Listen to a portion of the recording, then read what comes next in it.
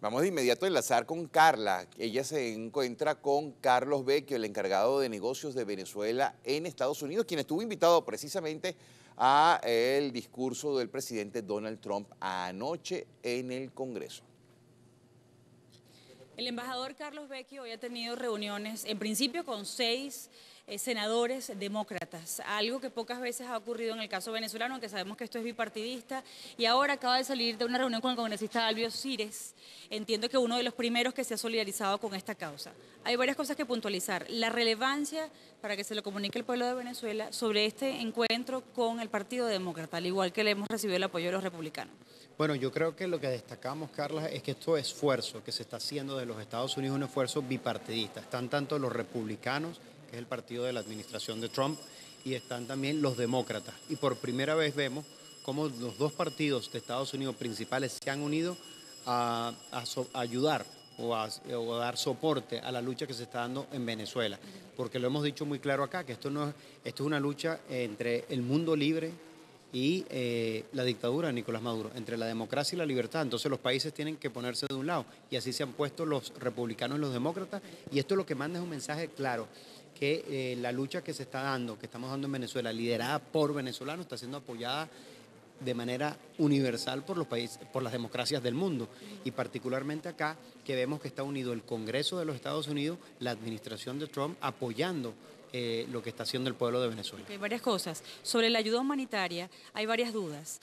para que me lo explique como, como lo conversamos esta mañana, usted dice que hay varios pasos. El primer paso es el acopio y luego vendría la logística para que ingrese esa ayuda al territorio venezolano. Hay un poco de desesperación dentro de los venezolanos pensando que esto es en horas, en dos días, que es hoy. ¿Qué les podemos decir como, eh, con respecto al proceso que esto lleva para que se pueda ejecutar? Bueno, esto ha sido una una de las prioridades que ha tenido el presidente interino Guaidó, ha sido una de nuestras prioridades afuera. hemos, hemos buscado crear una coalición internacional que ayude a liberar a Venezuela, pero también que exprese solidaridad a través de la ayuda humanitaria.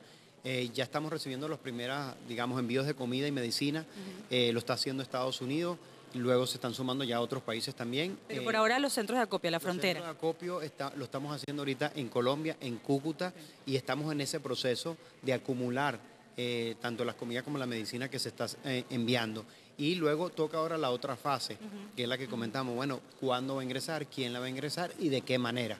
Y yo creo que aquí tomamos la oportunidad para ah, mandar un mensaje a los militares, que tienen que decir de qué lado están, Carla, porque al final del día ellos están allí, nosotros le hemos pedido que asuman la posición eh, constitucional de defender a, la democracia. Y ellos tendrán que decidir de qué lado están, si del lado de la dictadura de Nicolás Maduro que eh, no va para ningún lado, o del lado del futuro, del lado de la Venezuela que estamos soñando, del lado del pueblo que necesita esa comida y esa medicina. Lo, que, pasa que, lo que pasa es que aunque la dictadura no tenga autoridad, no sea gobierno, bloquearon la, autopista, no sé si lo vieron, para que no ingrese la ayuda humanitaria y además le están dando como el mensaje a la población de que si no se echa para atrás el gobierno de los Estados Unidos con las sanciones, nosotros no vamos a permitir que ingrese la ayuda. ¿Cómo recordarle al pueblo de Venezuela que el control de toda esta situación está del lado del gobierno de transición? es que ya lo estamos viendo, tú lo has dicho. ¿Quién está haciendo el bloqueo y quién está impidiendo que se ayude al pueblo? Maduro. ¿Quién generó esta crisis? Maduro. ¿Quién es la, la peor sanción que tiene Venezuela en este momento? Maduro. De manera que que esto más bien lo que viene a confirmar es que a Maduro no le importa el pueblo ni la gente. Esa comida, esa medicina la necesita la gente. Ah, claro, él no le importa porque él no la necesita, porque él tiene todos los privilegios del poder, porque sus hijos están afuera, porque su familia está afuera, o si no van a los, eh, tienen la comida eh, de otras partes. Y entonces ellos sí mantienen sus privilegios y no me importa el pueblo. Esto es lo que desnuda más bien que a Maduro no le importa nada, sino mantenerse en el poder junto a los cubanos para mantener sus privilegios. Y hace este tipo de acciones para precisamente perjudicar al pueblo. Entonces estamos viendo que la peor sanción la está haciendo Maduro. El bloqueo, es quien lo está haciendo es Maduro, que impide que esa comida y esa medicina llegue a Venezuela. ¿Cómo debe tomarse Venezuela las palabras de Diosdado Cabello convocando a un proceso para renovar la Asamblea Nacional? Es decir, desconociendo su legitimidad, la legitimidad como la única institución en este momento vigente y reconocida por el mundo en Venezuela. ¿Cómo deben tomarse esas aseveraciones o todo lo que intente el régimen a partir de este momento? Mira, eh, Maduro es un dictador, Maduro no tiene ninguna legitimidad ni hablar de cabello, ni hablar de la Asamblea Nacional. Eso es como si no existiera. Ahorita el único órgano legítimo que existe en Venezuela, reconocido por los venezolanos y a nivel internacional, es la Asamblea Nacional. Y lo que nosotros estamos planteando es el camino constitucional. Al no tener presidente, quien asume es el presidente interino Juan Guaidó por ser presidente de la Asamblea Nacional para llamar a elecciones y conducir esa transición. Y ese es el apoyo que nosotros hemos pedido a nivel internacional. Así que lo que está diciendo Cabello simplemente eh, no tiene ni sentido, no tiene ninguna vigencia y por supuesto lo que están haciendo es ver cómo mantienen sus privilegios y lo que están haciendo es profundizar, la crisis. Yo creo que nadie los toma en serio y yo creo que más bien esto lo que tiene que reafirmar es nuestro compromiso de continuar nuestra presión. Yo creo que Venezuela está preparada para un cambio, es el momento, es el momento de hacerlo ahora y de continuar nuestra lucha hasta lograrlo. Le planteábamos al embajador Tarre Briceño esta mañana em, que el, pueblo de Venezuela está, está en este momento como empezando a desinflarse. Es como que si no es expedito y no ocurre en horas, entonces la gente siente que está fallando el plan.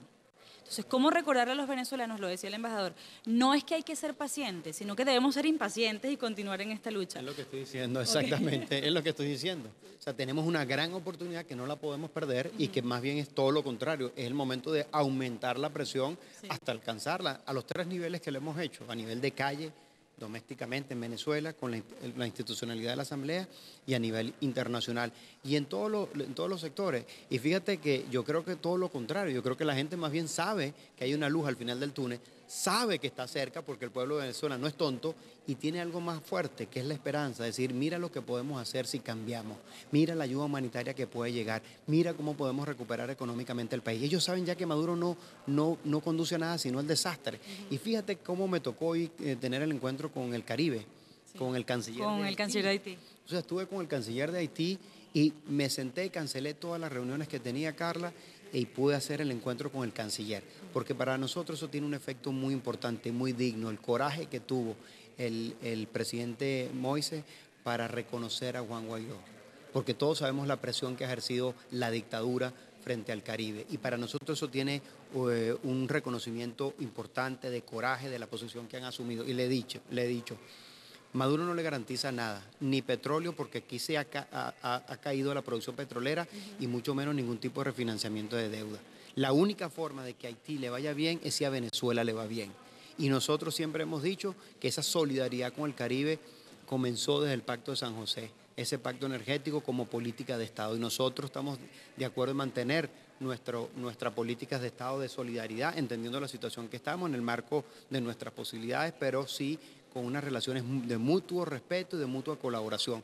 Y yo le dije, todas las oportunidades que vamos a generar nosotros va a impactar a Haití, va a impactar al Caribe. Y que es el momento que el Caribe vea que, de qué lado quiere estar. Y creo que Haití, en el caso de Haití, su presidente han hecho la decisión acertada porque dice, estamos con el pueblo, estamos con la democracia y estamos respaldando al, presidente interino Guaidó. Ahí está nuestra fortaleza. Entonces, más bien yo veo signos muy positivos que nos tienen que llevar a nosotros a decir, estamos ganando esta lucha, la vamos a ganar y cada día estamos más cerca. Así que es el momento de ser más impaciente para que eso llegue más rápido. Eh, una última cosa, eh, con respecto al control de los recursos para que Nicolás Maduro no pueda apropiarse de ellos, ha funcionado. De hecho, la Asamblea Nacional eh, menciona el, caso de la supuesta transferencia que se quería intentar del Novo de, Lisboa hasta Uruguay. Entonces, el gobierno de transición podría decir a los venezolanos que sí tienen el control para que Nicolás Maduro no siga malversando el patrimonio nacional. Bueno, totalmente. Y esto ha sido prioridad nuestra también en esta parte, en dos niveles. Uno, para proteger los activos, que, es lo que hemos venido haciendo ahorita, diciendo, esta es una dictadura, no le hagan caso a la dictadura. Aquí hay un nuevo gobierno, no pueden recibir instrucciones de la dictadura, sino del nuevo gobierno. Entonces eso lo que nos permite es proteger y congelar para que no puedan mover nada. Esa es la, idea. Y luego, la segunda fase, que queremos hacer el, control eh, eh, progresivo, ordenado, siguiendo las leyes de esos activos para preservarlos para el proceso de recuperación. Entonces, digamos, estamos allí haciendo eso, para que todo eso se congele, para que podamos tener control político y ellos no puedan venir a cambiar las cosas o a mover cuenta o a controlar la empresa. Nosotros protegerla para que cuando sumamos plenamente la transición, lo preservemos para ponerlo al servicio de los venezolanos. Una última cosa. Nicolás Maduro reconoció a Juan Guaidó. En las más recientes declaraciones dijo que él tenía 30 días para convocar un proceso de elección. Es decir, que si reconoce que Guaidó, el presidente Guaidó, tiene 30 días, significa que lo está considerando un presidente de transición, un presidente interino. Eh, ¿Esto qué indica? Confusión, eh, ganas de seguir negociando, porque el embajador Julio Borges decía que varias embajadas le habían notificado que él estaba buscando refugio en otro país. ¿O lo traicionó el subconsciente? Bueno, yo creo que, que, que esto lo que nos manda son señales de que estamos en el camino correcto que, eh, eh, que subestimaron al pueblo de Venezuela, que subestimaron el liderazgo de Juan Guaidó, que subestimaron a la comunidad internacional. Y ahí están los resultados. Y como tú muy bien dices, ese reconocimiento no solo al presidente interino, es el reconocimiento al artículo 233 de la Constitución que nosotros hemos aplicado y que es el que hemos dicho que queremos hacer cumplir y respetar a plenitud. Y que para que eso se active necesitamos que cese la usurpación de Nicolás Maduro para poder asumirlo a plenitud y convocar a elecciones y ese es el apoyo que hemos pedido a la comunidad internacional. Muchas gracias, embajador. Siguen las reuniones y BTV Miami con nuestros representantes del gobierno interino aquí en los Estados Unidos, en la ciudad de Washington.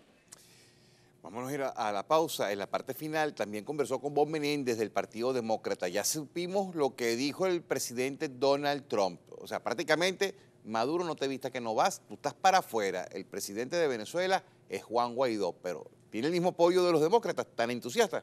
Ya venimos.